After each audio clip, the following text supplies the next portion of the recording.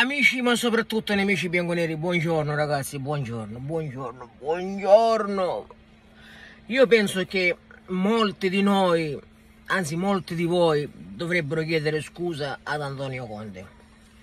Dovrebbero chiedere scusa nella maniera più totale per quello che fece nel 2014 quando si esonerò dalla Juventus perché lui già nel 2014 aveva capito quello che stava per accadere e poi quello che è accaduto in questo, in questo purtroppo, in questo lustro, lustro di tempo. Le parole di John Elkan certificano lo, lo stato di praticamente di voler non cambiare, di voler praticamente essere ciecati di fronte all'evidenza. Quindi, ripeto, di fronte a un sordo è inutile urlare, non ti ascolterà mai.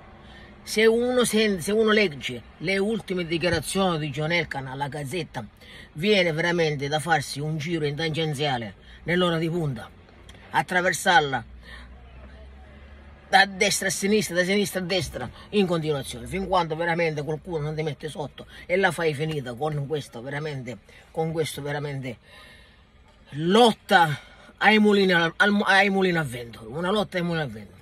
Questi sono contenti, addirittura quello è contento anche della Ferrari. Cioè vi dico soltanto questo, vi parto dall'inizio, parto, da, cioè, scusate, parto dalla fine.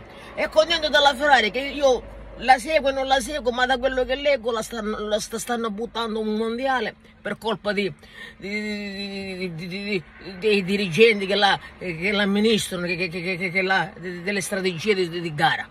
Lui è contento contento di Allegri. Ma allora perdonatemi, perdonami, io non ti voglio insultare anche a te perché, perché veramente sono stanco ormai degli insulti, ormai non, non, ne, le, le, devo andare ad acquistare all'Ikea anche gli insulti devo andare ad acquistare.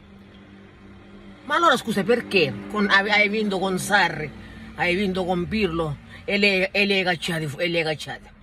Se sei contento di uno che non ti ha vinto un cazzo, se sei contento di essere andato al Parco dei Principi, ma hai fatto 20-25 minuti di buono, di, di, di, di, una reazione di orgoglio, ma tu il calcio lo capisci, il calcio? Nel primo tempo ci hanno triturato, nel primo tempo. Poi c'è stata una reazione ovvia, ovvia da, da uomini, da persone che hanno i testicoli, che hanno lo scroto e i testicoli interni. Ovvio, normale, perché se seguivano il becca morto, sarebbe stato un tritacane. Le, le senti le dichiarazioni del Beccamorto prima della partita? Lo hai sentito Danilo quando gli dici ma perché dovevamo essere il Paris Saint Germain doveva venire qua e, fa, e, farci del male? Chi ve le dice queste cose? Ma hai, hai, hai, hai, un minorato mentale come allenatore e tu sei contento, eh, vuol dire che c'è qualcosa, c'è qualcosa oltre il calcio che va, che, che, che unisce queste tre persone, questi tre soggetti. Non ci sono altri dubbi perché qui si, si, si annulla la meritocrazia quando c'è questo Allegri, Agnelli e Elkan. C'è qualcosa che noi non sappiamo.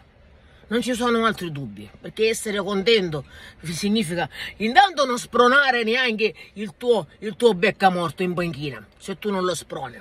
Poi quando parli vorrei vedere la Venus con tutti i suoi cavalli. Ma quali sono sempre questi cazzo di cavalli? Quali sono? I cavalli di razza. Hai comprato uno scassato, è scassato vero, è scassato resta.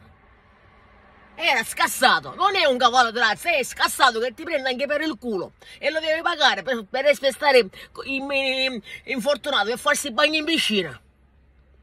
È scassato, sono quattro anni che ha fatto schifo al Manchester, non è un cavallo di razza, sei idiota, più idiota di Agnello, di tuo cugino. Tu sei più idiota di tuo cugino tu sei più idiota. Sempre con questi cazzo di cavalli, cavalli di razza. Ma quale cazzo di cavalli di razza parli? Di Maria che ha 85 anni. Finisce di dire sempre queste puttanate. Finitela di prendere per in giro la gente. Finitela. Vinceremo lo scudetto. Eh sì, vinceremo lo scudetto. Altri 150 scudetti. Ma che si vede? Ma voi pensate che noi siamo cretini? Ripeto c'è una cosa che va oltre il calcio ragazzi mettiamoci pietre, una, una, una, una pietra sopra una pietra tombale perché ripeto questo non sarà mai giudicato per i suoi risultati perché chi ha vinto è stato cacciato e chi non ha vinto niente è stato lodato. Questo è il, il rapporto che c'è tra presidente e allenatore.